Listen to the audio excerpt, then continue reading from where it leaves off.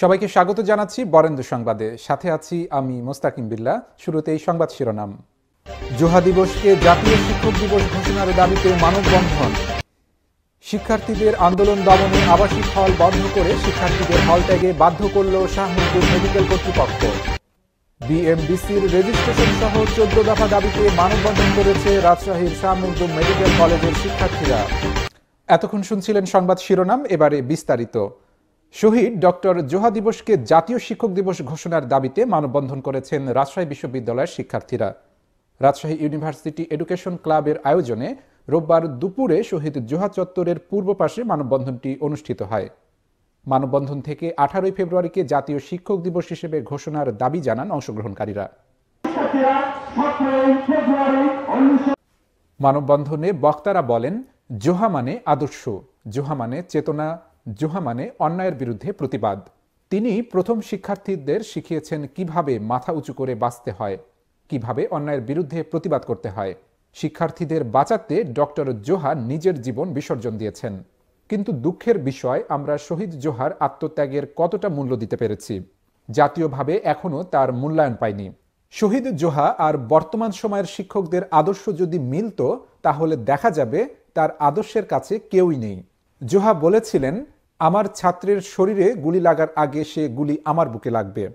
বসন্তের মাসে তার রক্তে এই ক্যাম্পাস রঞ্জিত হয়েছে। বর্তমান শিক্ষকরা দল দাসে পরিণত হয়েছে।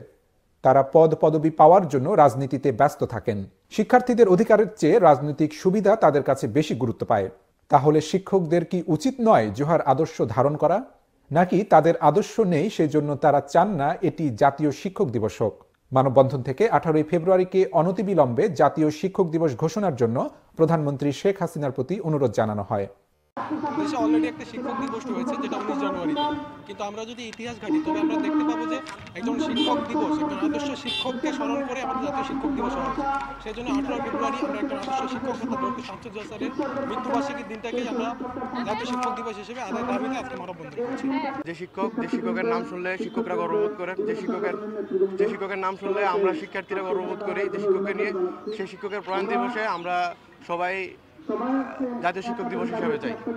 বিএমডিসির অনুমোদন ছাড়াই শিক্ষা কার্যক্রম চালানোর প্রতিবাদে গড়ে ওঠা শিক্ষার্থীদের শান্তিপূর্ণ আন্দোলন দমনে মরিয়া হয়ে উঠেছেন শাহ মুকদুম মেডিকেল কলেজের ব্যবস্থাপনা পরিচালক। আন্দোলন ধামাচাপা দিতে শনিবারই কলেজ অনির্দিষ্টকাল বন্ধ ঘোষণা করা হয়। এজন্য রবিবার সকালে ব্যবস্থাপনা পরিচালক নিজে থেকে শিক্ষার্থীদের চাপ প্রয়োগ করে হল ত্যাগে বাধ্য করেন ব্যবস্থাপনা পরিচালক অভিযোগ শিক্ষার্থীদের। শিক্ষার্থীরা জানায়, শনিবার রাত আটটার মধ্যে ছাত্রদের হোস্টেল ছাড়ার নির্দেশ দেওয়া হয়। কিন্তু ছাত্ররা হোস্টেলে না ছাড়াই পুলিশ নিয়ে হাজির হন এমডি। এ নিয়ে উত্তেজনা তৈরি হয়। এদিকে রোববার সকাল দশটার মধ্যে ছাত্রীদের হোস্টেল ছাড়ার নির্দেশনা থাকলেও সকাল সাড়ে আটটার দিকে এমডি পুলিশ সঙ্গে নিয়ে আবারও হাজির হন মেয়েদের হোস্টেলে। এর প্রতিবাদে শিক্ষার্থীরা হোস্টেলের সামনে অবস্থান নেয়। পরে সকাল দশটার দিকে নগরীর সাহেববাজার জিরো পয়েন্টে জড়ো হয়ে মানববন্ধনের আয়োজন করে আমাদের নারী হোস্টেলে পুরুষ ঢোকে আমাদের ফজরের পরে একটা মেয়েরকে কীভাবে ফজরের পরে বের হয়ে যেতে বলে? আমরা ফজরের পরে বের হয়ে আসতে বাধ্য হয়েছি। এই কারণে আজকে আমরা রাস্তায়। এই কারণে আমরা মানববন্ধন করছি। বলে দেওয়া হয়েছে যে ছেলেদেরকে বলে দেওয়া হয়েছে আটটার মধ্যে হোস্টেল ছাড়তে। আর মেয়েদেরকে বলে দেওয়া হয়েছে সকাল দশটার মধ্যে হোস্টেল ছাড়তে। কিন্তু আমাদেরকে সকাল ভোর পাঁচটার সময়, সাড়ে পাঁচটার দিকে ছেলে মানুষ এসে হোস্টেলে ওঠে। হোস্টেলে উঠে মেয়েদেরকে বলে, তোমরা আগামী এক ঘণ্টার মধ্যে বাইর হয়ে যাবা। কেন ছেলে মানুষ হোস্টেলে আসবে? ছেলে মানুষ মেয়েদের হোস্টেলে আসবে।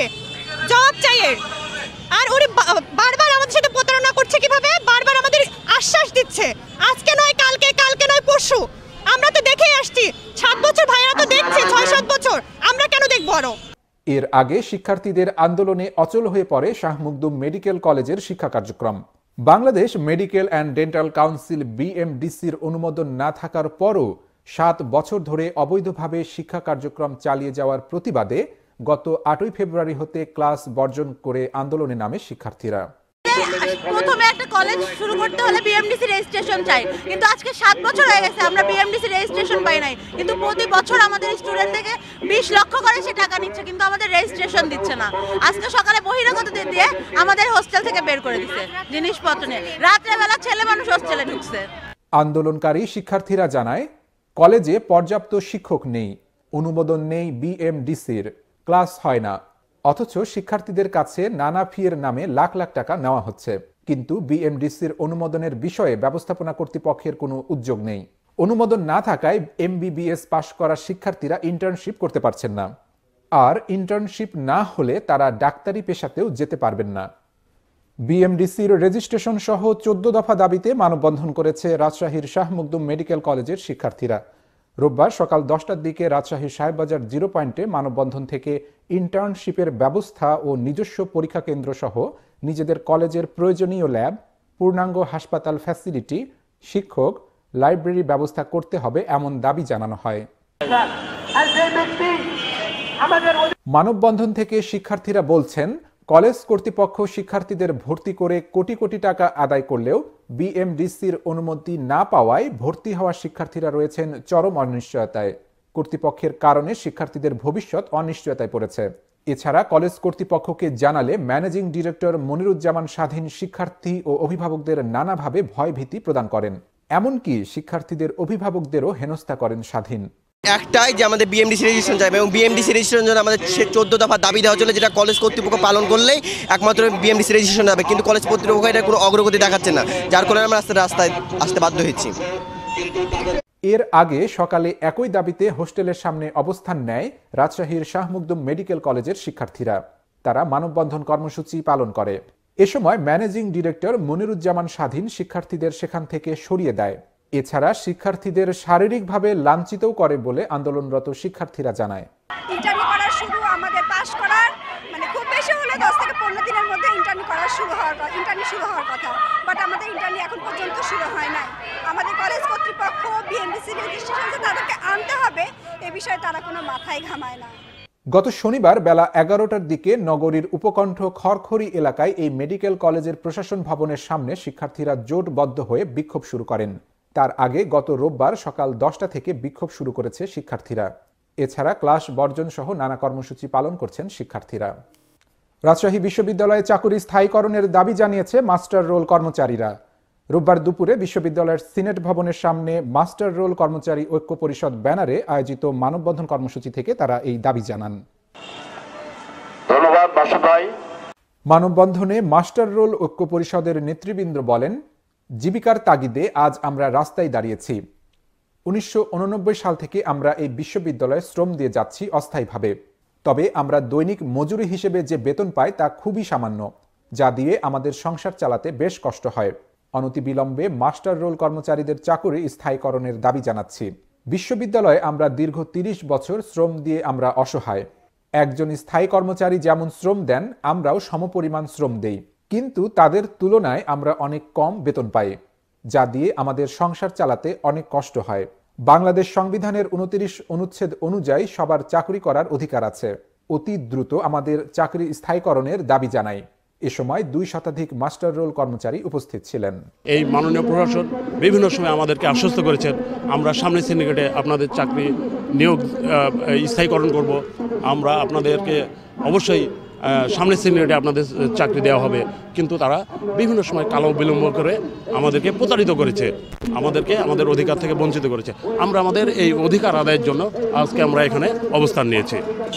নাটোরের সিংরায় ট্রাক ও মোটরসাইকেলের সংঘর্ষে মোটরসাইকেল চালক মিনহাজুর রহমান নামে এক শিক্ষক নিহত হয়েছেন।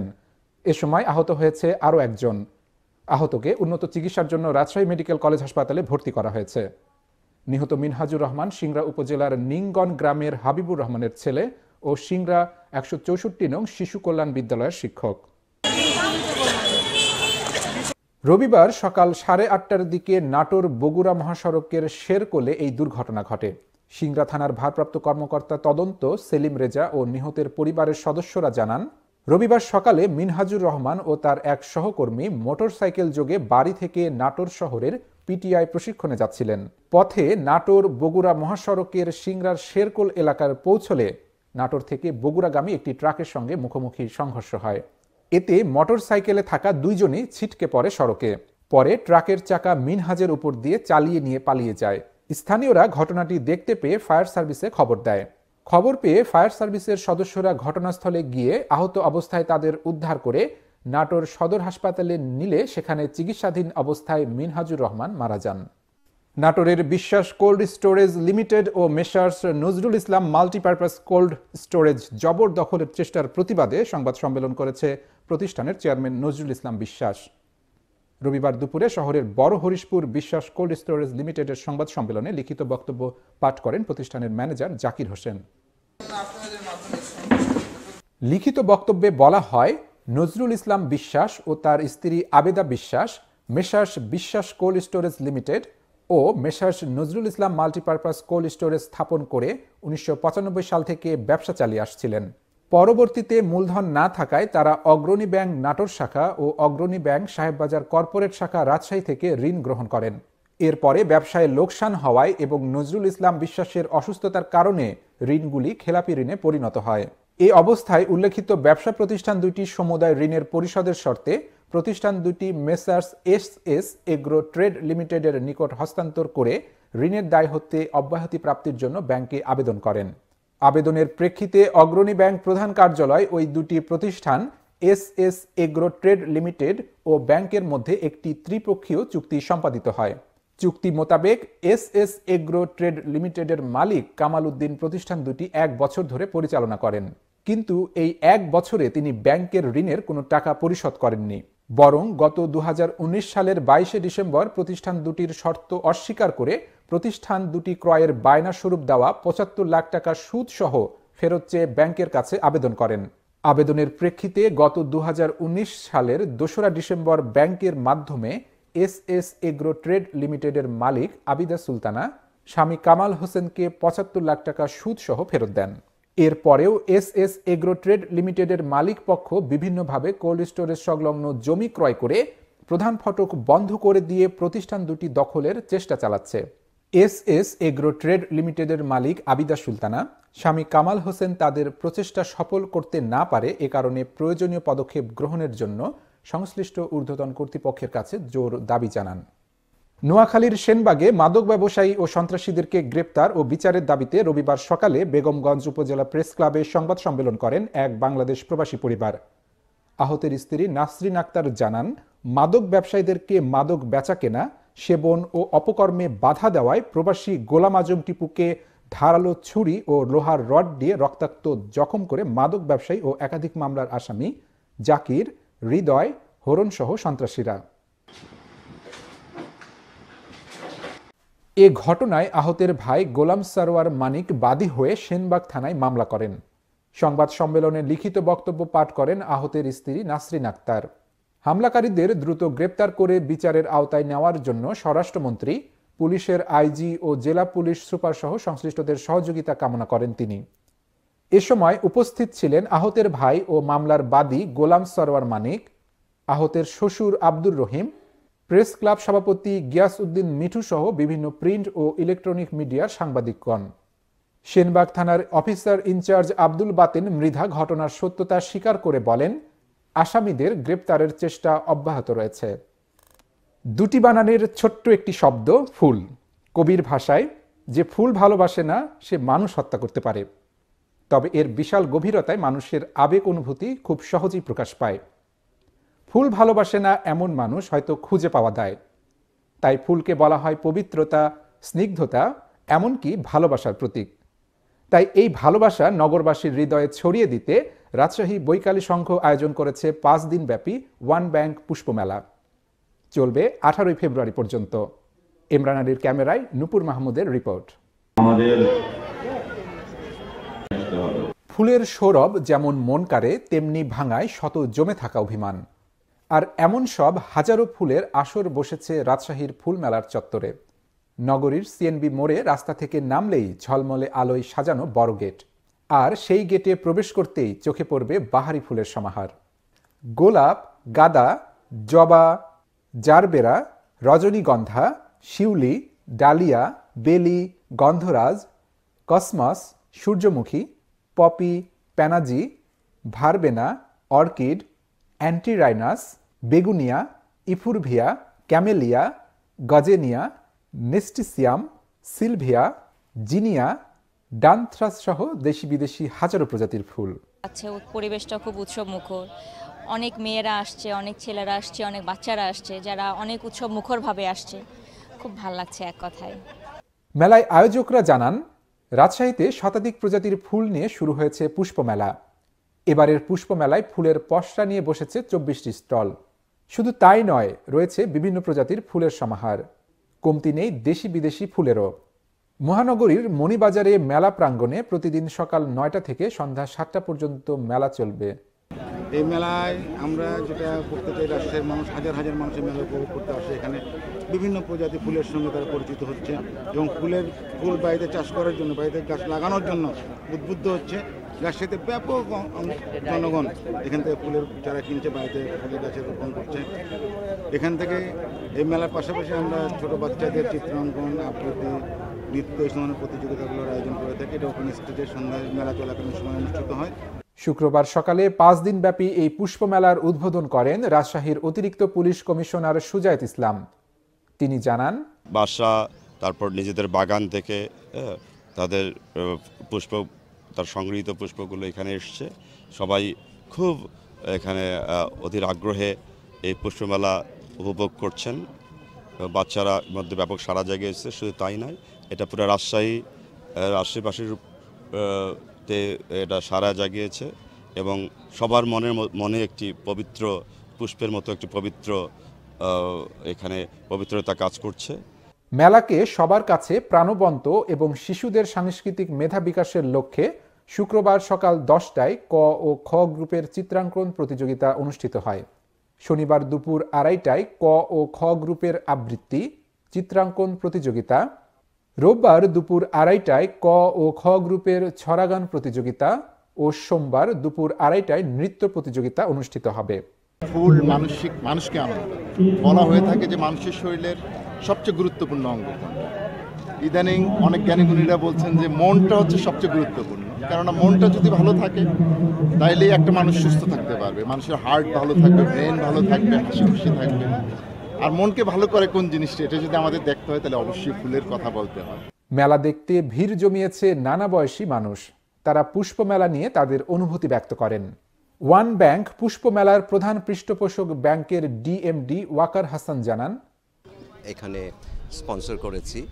দেখতে দেখতে এটা পাঁচ বছরে পড়েছে। কলেবরে এখন অনেক বেড়েছে। এরকম একটা ব্যতিক্রম ধর্মী অনুষ্ঠানের সঙ্গে আমরা আমার এখানে খুবই ভালো লাগছে এখানে আর্ট কম্পিটিশন করে। কালকেও আমি আসব, কালকে কবিতা আবৃত্তি আছে এবং আমি গানেও পার্টিসিপেট করব এবং এখানে ফুল দেখতে খুব সুন্দর লাগছে। ফুল বিভিন্ন রঙের বেশ ভালো লাগছে। রাজশাহীর অন্যতম ক্রিয়া ও সামাজিক সংগঠন বৈকালী সংঘ আয়োজিত পুষ্পমেলা রাজশাহীর সামাজিক সাংস্কৃতিক অঙ্গনে ভিন্ন মাত্রা যোগ করেছে। উনিশশো পঁচাশি সাল থেকে প্রতি বছর সিএনবি মণিবাজার চত্বরে বৈকালী সংঘের আঙ্গিনায় পুষ্পমেলার আয়োজন করা হয়। এই ছিল আজকের বরেন্দ্র সংবাদে। এতক্ষণ বরেন্দ্র সংবাদের সাথে থাকার জন্য সবাইকে ধন্যবাদ।